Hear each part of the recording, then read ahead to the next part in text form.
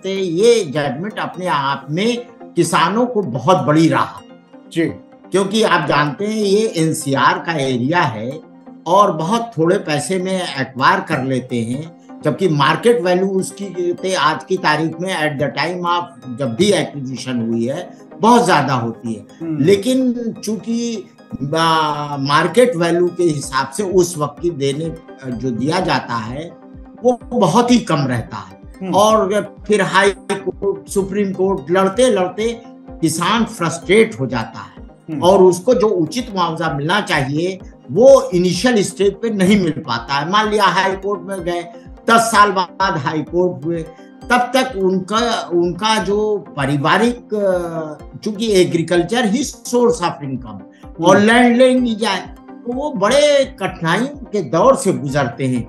और मेरा तो प्रैक्टिकल एक्सपीरियंस भी है कि अच्छे वकील करने के लिए उनके पास अ, पैसे भी नहीं होते हैं। करेक्ट लेकिन बहुत से वकील मिल जाते हैं जो कहते उनकी परेशानी को कंसिडर करते हुए मुकदमा करते हैं और करने के बाद कामयाब भी होते हैं। के निर्धारण में इतना समय लगने का क्या कारण है? क्या मानते हैं आप? और मैं आपको बता दूँ देश भर से कॉल आ रही है।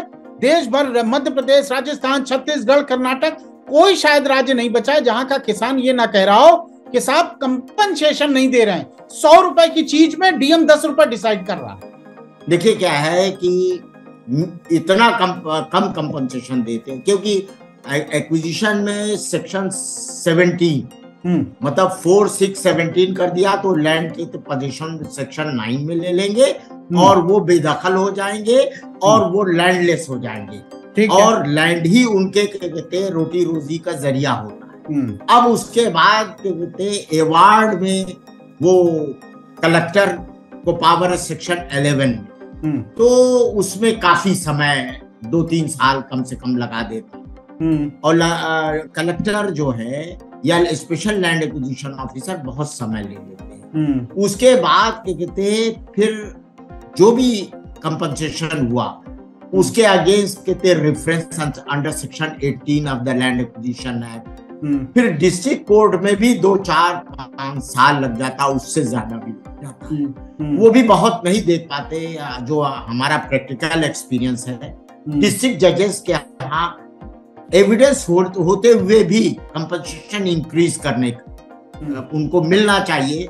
मान लिया 300 एविडेंस है 300 400 500 की लेकिन वो बीच का रास्ता निकाल कर फैसला देते हैं क्योंकि पैसा का मामला रहता है और वो बड़ा नाप तोल के उनको चलना पड़ता है डिस्पाइट की एविडेंस ऑन रिकॉर्ड हो मैक्सिमम कंपनसेशन देने की लेकिन उससे वंचित रह जाता है किसान हम्म, फिर हाई कोर्ट तो हाई कोर्ट में अपील एडमिट हो जाएगी।